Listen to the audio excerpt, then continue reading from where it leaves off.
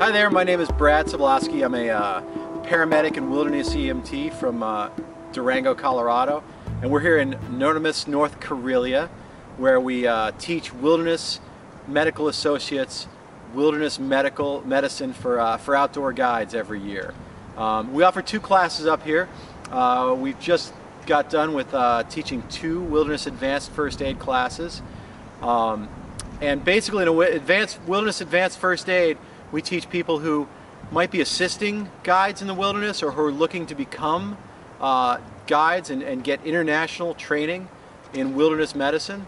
And so it's a four-day certification and we spend the time uh, first of all teaching you how the body works.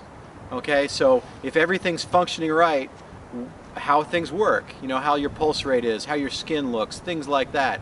And then we spend the rest of the course on what happens when thing go, things go wrong. Now when you're in the city, if something goes wrong or somebody gets hurt, all you have to dial is dial 112 and you have an excellent medical system here in Finland. The ambulance will be here soon and take care of all the problems. If you're working in the outdoors, sometimes calling 112 will mean that help is still far away or maybe they're not going to be able to come. So it's important that a wilderness guide understands what happens when people get hurt in the woods. Uh, so if you come to our Wilderness Advanced First Aid class, you learn the basics of really the three things out there that, that will hurt you or kill you. Um, and basically that's shock, some sort of problem with the circulatory system, uh, brain failure, some sort of problems with the nervous system, and respiratory system problems.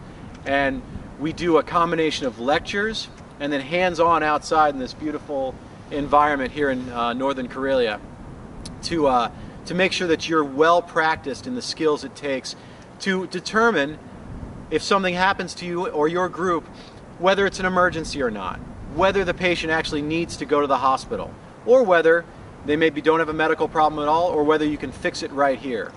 And so uh, you do this through repetition, many outside uh, uh, hands-on practical skill sessions, um, and real life scenarios with makeup and moulage um, so after you learn the, the really important, the, the big medical problems out there, we spend the rest of the class um, with the things you're more likely to see. Broken bones, sprained ankles, uh, people who are feeling sick, um, you know, what happens if uh, you get stung by a bee and you have an allergic reaction, what kind of medications would be helpful? Um, what kind of things would you want in your first aid kit? How do we communicate with, uh, with the ambulance service or 112 we want to tell them what kind of problem we have so that they get the, uh, the right resources. And mainly what we teach you how to do is be resourceful and, uh, and to be able to think critically about medical problems and to work with a team. So after the Wilderness Advanced First Aid, if you want more training, we offer the Bridge course. And the Bridge course, if you take the Wilderness Advanced First Aid and the Bridge course, you end up with a Wilderness First Responder uh, certification which is the internationally recognized uh, level of certification that, that outdoor guides should have when, when leading clients uh, in wilderness environments. So uh, it's, it's the most accepted certification in the world. Uh, and so we really teach you uh, everything you're going to need to know to be a good outdoor leader when it comes to medicine in the outdoors. First of all, how to prevent accidents from happening, to realize that if somebody has asthma, what are the risks that go with, it, with that illness. Um, to build a good medical kit so that you're prepared to be in the backcountry. And then, if something does happen, again, to, to provide the leadership necessary to make sure that your team and your clients react to the, uh, the problem um, in the way that they should, in an organized fashion. Do it so that you can do a good medical assessment, figure out anything that might be wrong with your patient, and then uh, come up with the right plan.